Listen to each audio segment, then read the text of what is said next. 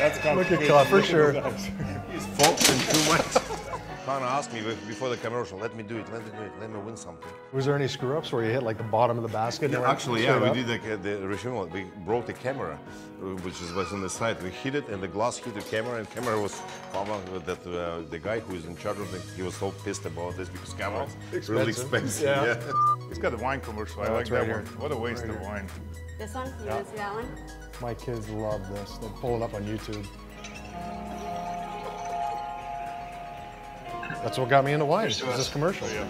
Was it Cab or uh, or Merlot? It was a cab. It was cab. Thank God this only took one take. 'Cause I ended up, I actually ended up leaving this restaurant without any underwear on. I Swear to God. I don't know how many takes of just sipping the wine, so I had a pretty good buzz going. My phone was in my jean pocket. It started ringing, like a stagehand or whatever had to go get the phone and answered it, and it was a female. And it was my wife on the other end. So I come home, I'm half buzzed, I have no underwear, smell like booze, and a girl answered my phone. How do you think my, my week went at home? That wasn't good. Well, Whoa, Yeah. whoa, whoa, whoa.